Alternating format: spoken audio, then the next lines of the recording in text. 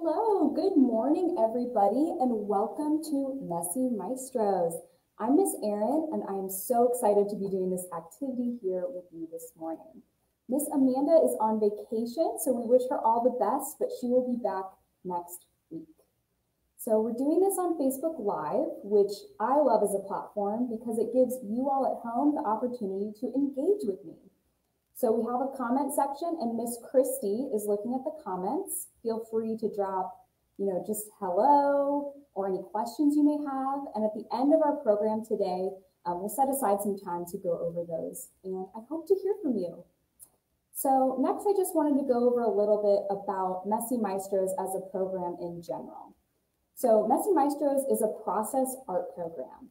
So here we're really focused on exploring the materials and what we create, it's probably gonna look pretty awesome, but it's all gonna look different. So what I create is gonna definitely look different from what you are creating at home. And I'm gonna be modeling some potential questions um, and ways to experiment with the materials that caregivers you can encourage your children to do. And I'm sure that you guys are gonna come up with some awesome ideas of how to interact with the materials as well. And I'd love if you'd share those with us in the comments. All right, um, so now that that's out of the way, we'll do our Hello Friend song. And I'll just go over the sign language for that again. So first we'll salute to say hello, then take your pointer fingers and make them hug to say friends. Then you'll point at your wrist for your imaginary watch, and then point at your mouth. Hello, friends. Hello, friends. Hello, friends. It's time to say hello. Yay! Welcome, everybody.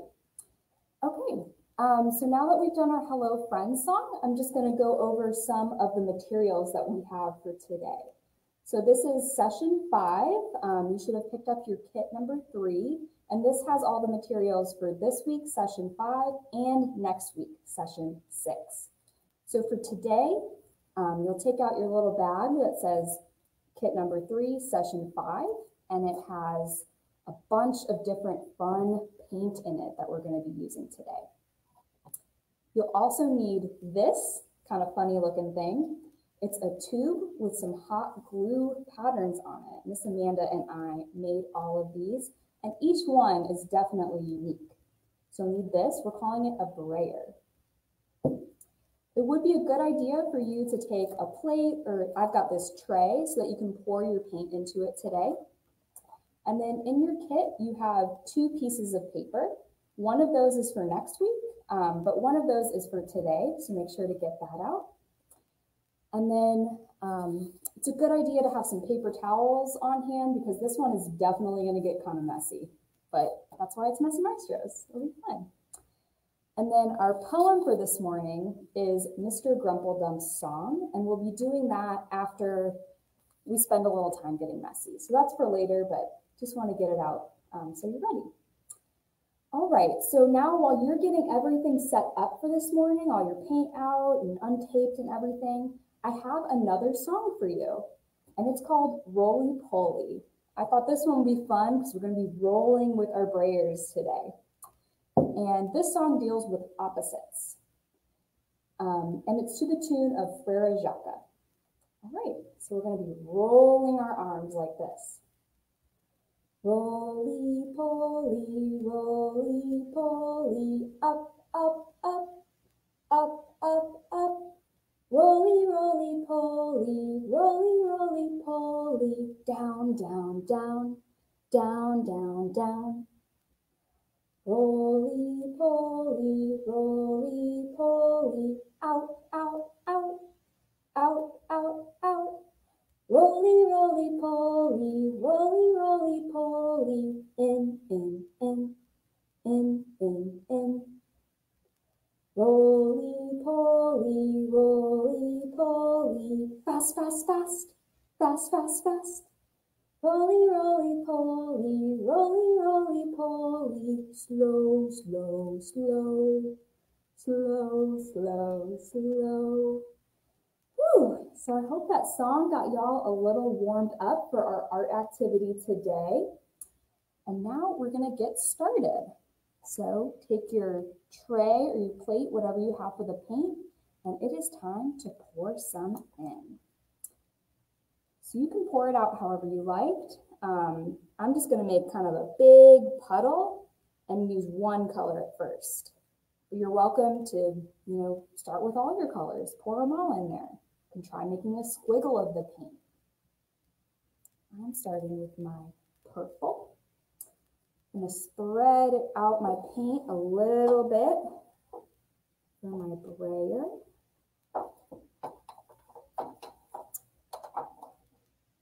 And first, before you dip your brayer in the paint, just feel it a little bit. Feel how what the texture of the hot glue is like.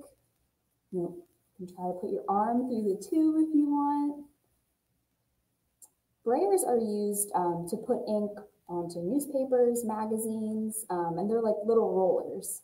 But this is our, uh, our little DIY version of one.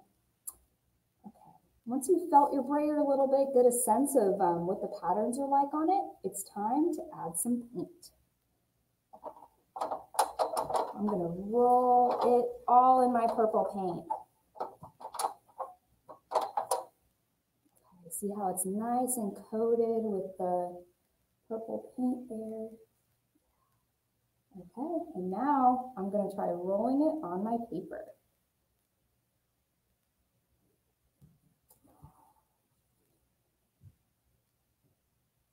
Look at that. So cool, I've got this, this almost looks like some skin right here. I've got some lines and dots from my brayer. Let's try again.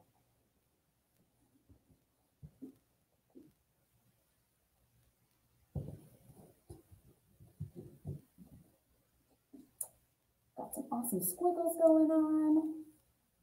I'm gonna add some more paint to it. So I just tried rolling the paint in it, but you can also, you know, pick up some paint with your fingers and try coating the brayer that way if you want. That's just a way to get extra messy.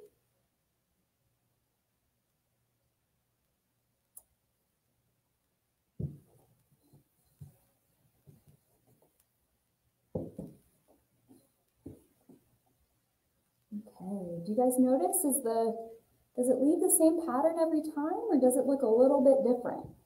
I think I'm getting a little bit of a different pattern every time I do it, depending on, you know, how much paint is on it, how hard I'm pressing.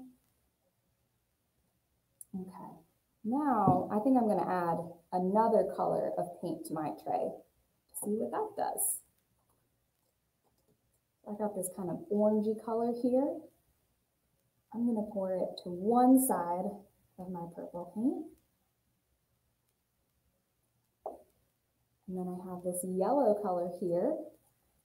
Add that as well.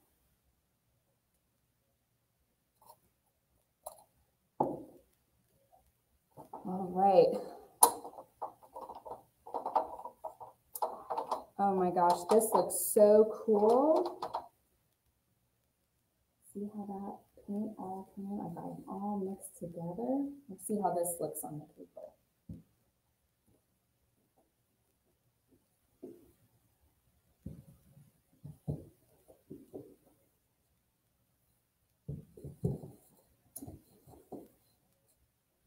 Wow, this is looking this is looking pretty cool. I'm thinking this is getting me thinking of other ways you could use things to roll for art.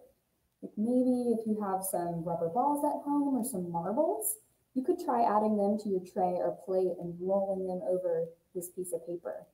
I mean, that's definitely going to be messy because they'll probably roll off the page. You have a little more control with this, but it might be a good idea. Hmm, this is getting me to think about other ideas too. Like maybe I could try pushing my brayer, see what that does.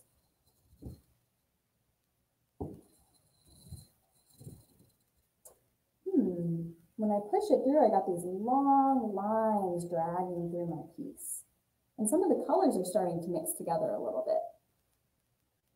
You know, I have another idea too. What if I use the side of the brayer instead of I'm gonna put a little paint on there instead of rolling it, maybe just stamping it out a little bit. It's a nice circles on that page.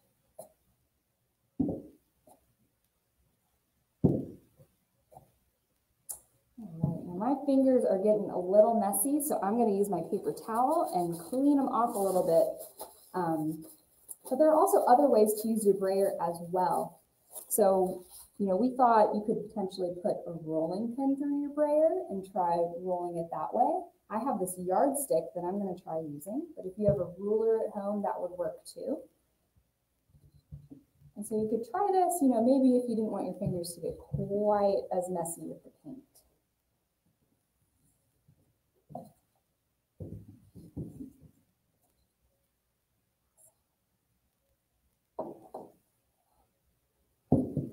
All right, so I don't know about you guys, I think my piece of art is starting to look pretty awesome, and I hope that yours at home is as well.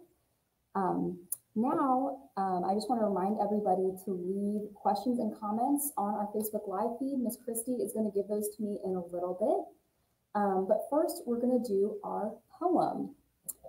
So this poem is called Mr. Grumpledump's Song by Shel Silverstein. And how fun is that to say? Grumpledump. Pretty dang fun, right? Um, and this one's a little bit longer than some of the other poems we've done in the past, so I'm just going to read through it once. All right? Mr. Grumpledump's Song. Everything's wrong. Days are too long. Sun shines too hot. Wind is too strong. Clouds are too fluffy. Grass is too green. Ground is too dusty. Sheets are too clean. Stars are too twinkly. Moon is too high. Water's too drippy. Sand is too dry. Rocks are too heavy. Feathers too light. Kids are too noisy. Shoes are too tight.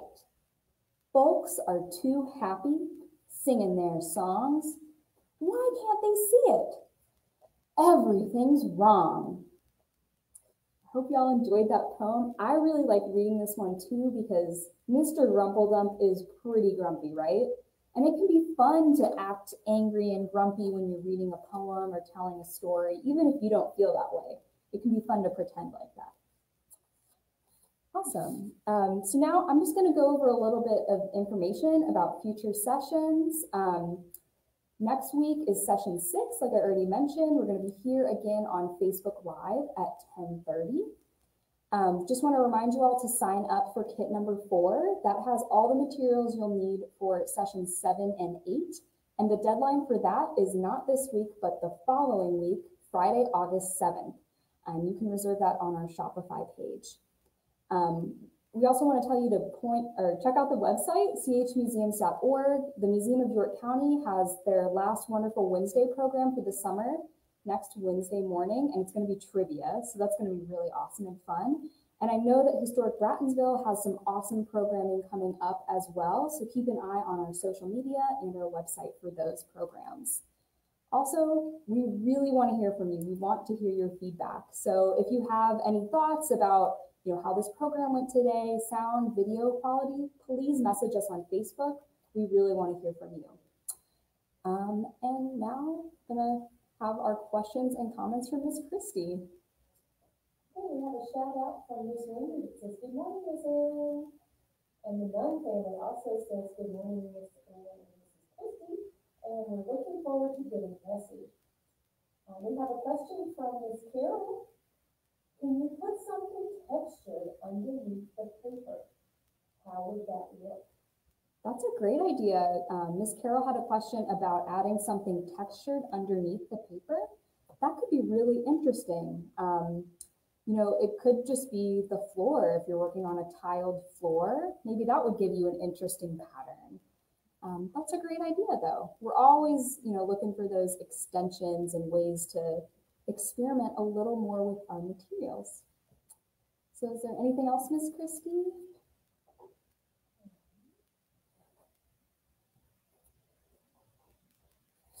This one says, great job, love the pattern.